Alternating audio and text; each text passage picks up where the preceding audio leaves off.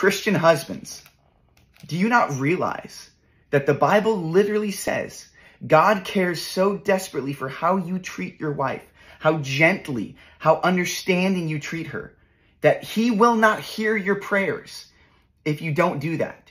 If you're if you're brutal with them, if you're impatient with them, if if if you have biting comments towards them, he will literally not hear your prayers. That's such a strong statement. And it's because this ruins families. So I'm calling you right now to understand that your wife, designed by God, as it says here, is the weaker vessel. Now, that doesn't mean she just sucks at a bunch of stuff.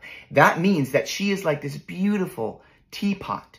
And you, like, we're like these Yeti mugs. And God designed it that way. No, regardless of what culture says to you, this is what the scriptures say. They are the weaker vessel, and we are called to live with them in an understanding way. And if you don't, your prayers will be hindered.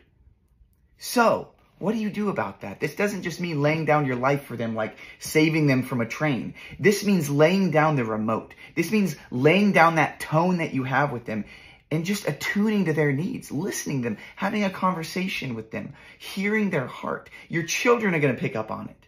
You're going to set a standard for a generation. And more than anything, the Lord's going to be pleased. Your marriage will flourish and he'll hear your prayers.